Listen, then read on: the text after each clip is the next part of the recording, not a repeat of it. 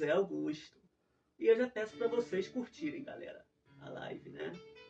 Curtirem, compartilharem, isso. se vocês estiverem gostando, e comentarem também. Que a gente vai estar lendo o comentário de vocês aqui.